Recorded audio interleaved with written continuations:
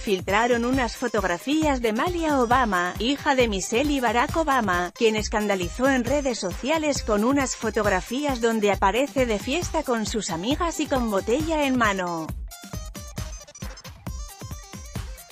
Según el diario Daily Mail, en unas fotos difundidas, se puede ver a Malia con una botella de vino rosado en la mano, lo cual ha escandalizado en las redes sociales, pues aún no cumple 21 años, edad en la que es permitido beber alcohol en algunas ciudades de los Estados Unidos.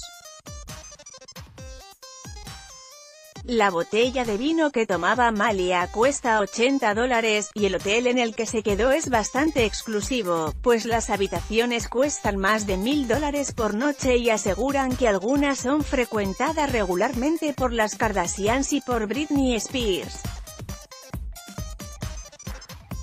Malia Obama disfrutó su estadía en el hotel, pero hubo un gran ausente, su novio británico Rory Farquharson, con quien fue vista por última vez en agosto del año pasado en el metro de Londres. Creo que la hija de Obama va por